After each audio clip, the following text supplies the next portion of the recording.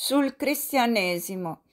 Voltaire, dizionario filosofico, voce ricerche storiche sul cristianesimo. Molti studiosi si mostrano sorpresi per il fatto di non trovare nello storico Giuseppe alcun cenno di Gesù Cristo.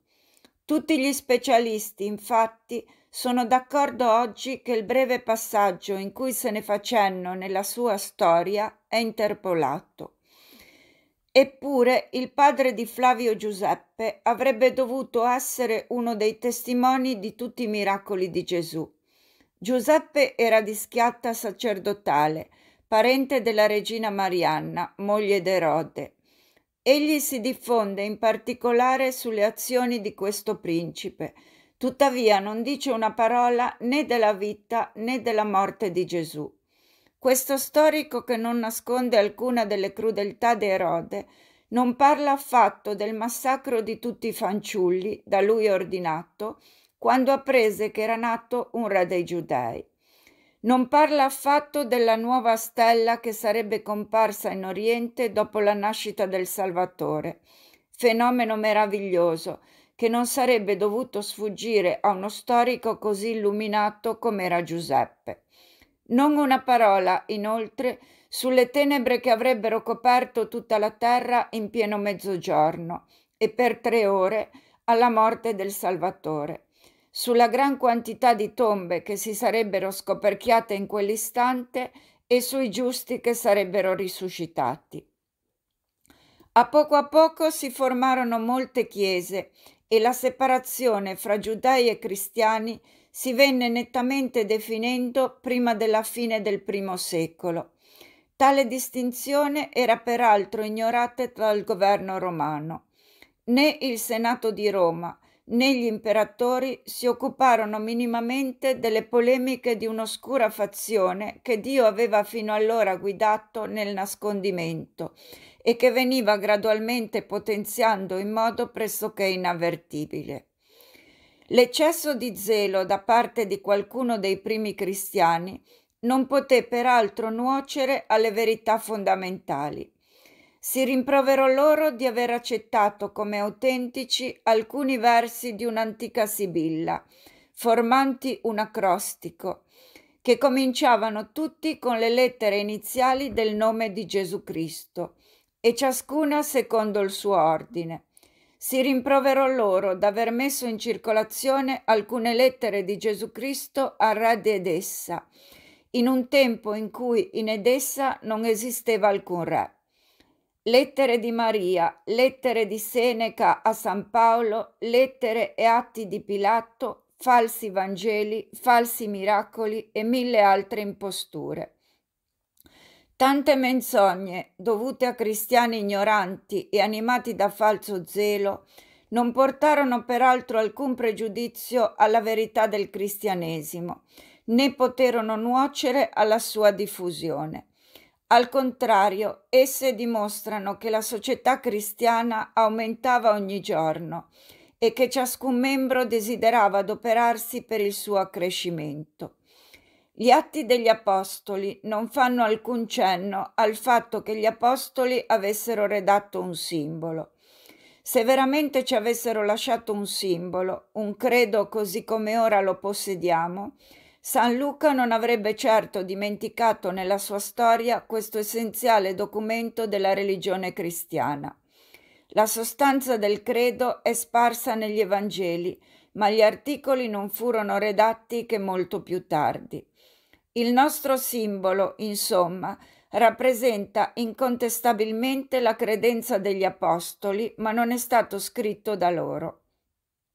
San Gerolamo ed Eusebio raccontano che quando le chiese si organizzarono, si vennero distinguendo in esse gradualmente cinque diversi ordini.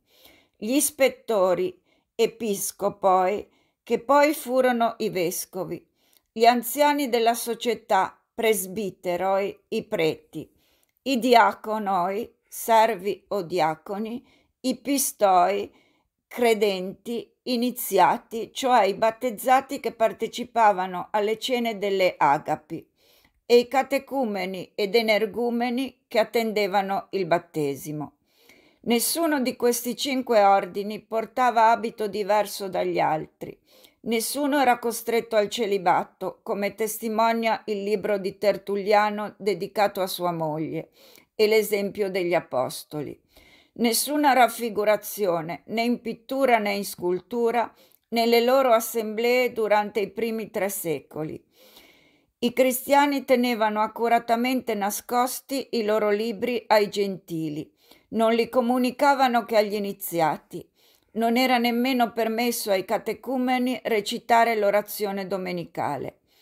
Quando le società cristiane divennero più numerose e molti si ribellarono al culto dell'impero romano, i magistrati infierirono contro costoro, che peraltro furono oggetto di persecuzione specialmente da parte delle popolazioni. Tali persecuzioni non furono del resto affatto continue. Origene, nel suo libro terzo contro Celso, dice si possono facilmente contare i cristiani morti per la loro fede perché ne morirono pochi e solo di tempo in tempo e con lunghi intervalli. Comunque sia, Costantino fu ammesso alla comunione dei cristiani benché non sia stato mai altro che catecumeno e abbia rinviato il battesimo fino al momento della morte. Egli costruì Costantinopoli, la sua città, che divenne il centro dell'impero e della religione cristiana. La Chiesa divenne allora un'istituzione augusta. Voltaire Istruzioni per il principe reale.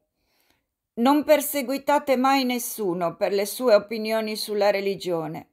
Ciò è orribile davanti a Dio e davanti agli uomini. Gesù Cristo, lungi dall'essere oppressore, è stato oppresso. Se vi fosse nell'universo un essere potente e malvagio, nemico di Dio, come hanno preteso i manichei, la sua funzione sarebbe di perseguitare gli uomini. Vi sono tre religioni stabilite di diritto umano nell'impero. Vorrei che ve ne fossero cinquanta nei vostri stati. Essi sarebbero più ricchi e voi sareste più potente. Rendete ogni superstizione ridicola e odiosa. Non avrete mai nulla da temere dalla religione.